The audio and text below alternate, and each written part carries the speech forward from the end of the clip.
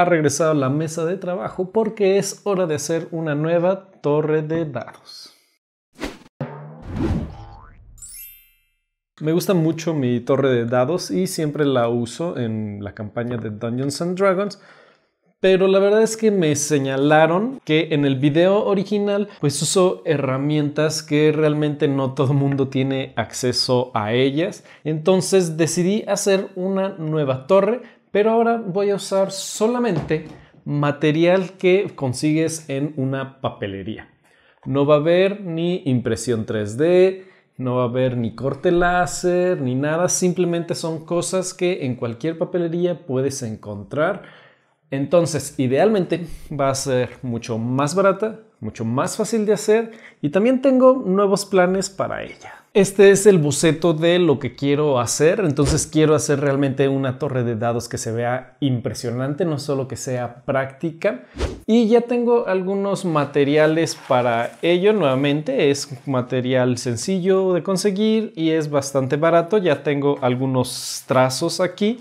Este es papel batería de milímetro y medio y de 3 milímetros creo que es. Pues vamos a poner manos a la obra en esto, ver si realmente puedo hacer lo que tengo planeado y cómo va a quedar esta nueva torre de datos.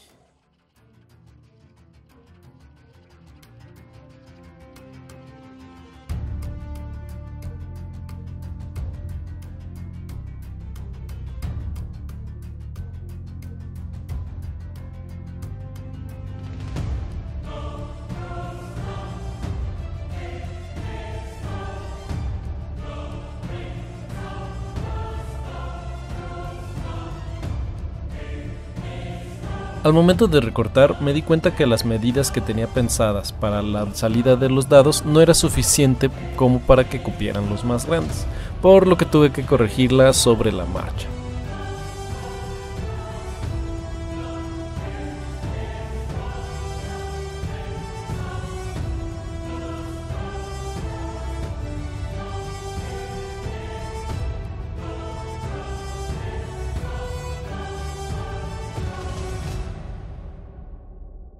Ya tengo aquí cortadas todas las piezas que voy a utilizar. Ahorita lo primero que voy a hacer va a ser trabajar la base. Esta base está un poco más grande que esta. Con esta torre de dados siento que a veces tienes que acercar o asomar mucho para ver el resultado. Entonces aquí esto es un poco más amplio para que sea más sencillo leer los dados.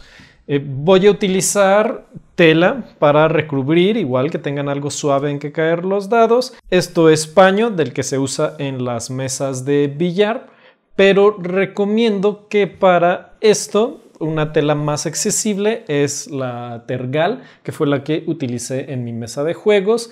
Es una tela con una textura similar y un peso también muy similares.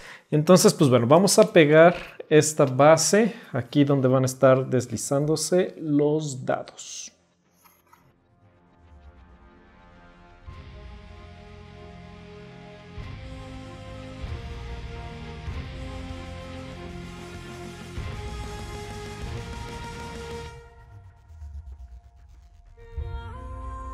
En lo que se acaba esta parte, pegué todo lo demás de la torre para comenzar a ensamblarla.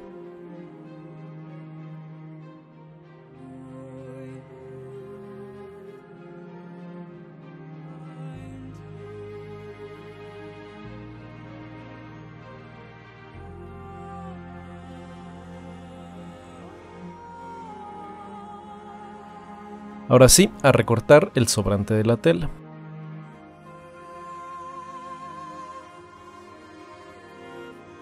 Decidí pintar de negro el interior, de una vez antes de armar para no arriesgarme a manchar la tela y hacerlo todo más fácil.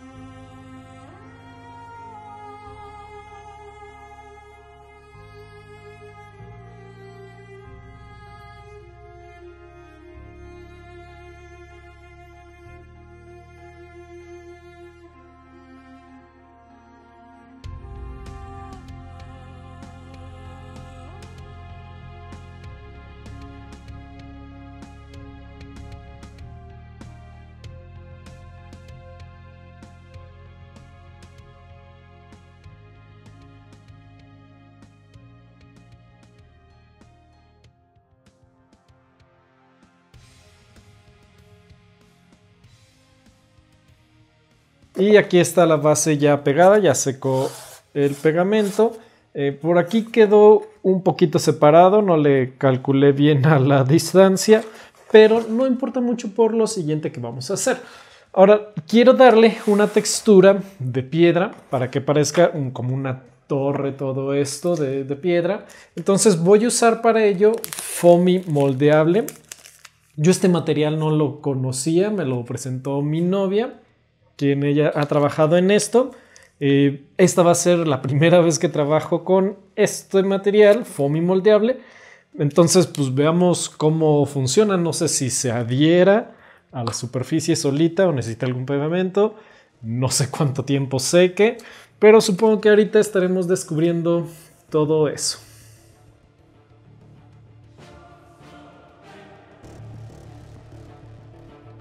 Mi novia me advirtió que el foamy moldeable puede secarse. Efectivamente, parte de la orilla estaba seca, pero lo demás sí pude utilizar.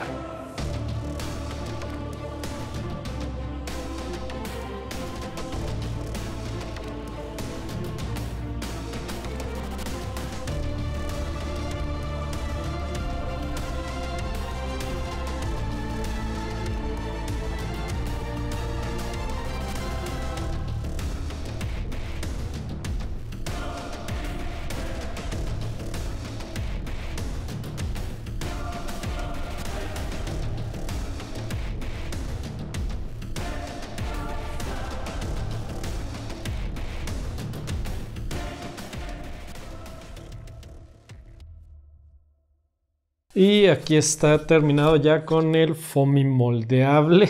Este, la verdad es que tardé más de lo que me imaginé que iba a tardar. Las partes que estaban medio secas no pegaron del todo bien, pero bueno, esto ya lo pegaré con cianoacrilato. Ya estoy muy cansado.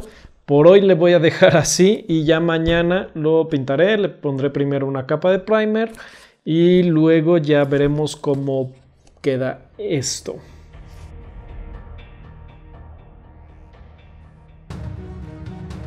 Intenté poner con brocha el primer que siempre utilizo, pero no estaba funcionando porque no entraba en todos los huequitos, por lo que tuve que simplemente pintarlo con pintura en aerosol, cubriendo cuidadosamente la tela para que no se manchara.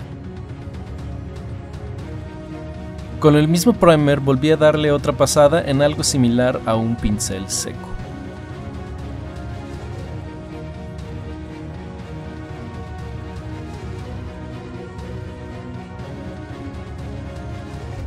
Luego le di luces con un gris más claro para seguir con tonos oscuros.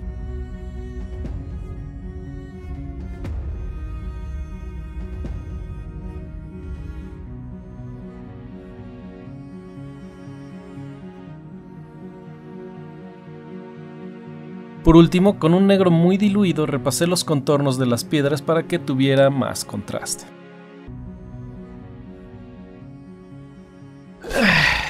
Y así quedó el resultado final. La verdad es que fue algo sencillo de construir, estuvo rápido. Esta espuma no estuvo tan mal trabajar con ella, se adhiere bien a la superficie, no se puede hacer tanto detalle, pero se puede moldear bien y al final creo que sí se ve como quería que se viera, entonces me gustó mucho el resultado como quedó. Comparándola con la otra torre que hice, me gusta mucho más esta base, está mucho más amplia, más fácil leer los dados. Eh, hay algo que me gusta mucho de esta torre y es ese sonido. Ese sonido me gusta mucho cuando tiro los dados.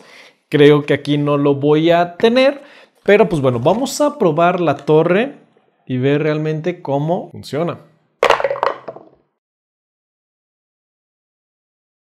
Y pues eso es todo. Muchas gracias por ver este video. Espero que lo hayan encontrado interesante y útil. Si tienen alguna pregunta pueden dejarla en la parte de abajo. También les recomiendo que se suscriban para saber todo lo que estamos haciendo y al igual pueden seguirnos en redes sociales. Muchas gracias.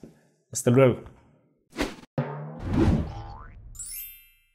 ¿Cuánta gente se dará cuenta de que me corté el pelo a mitad del video?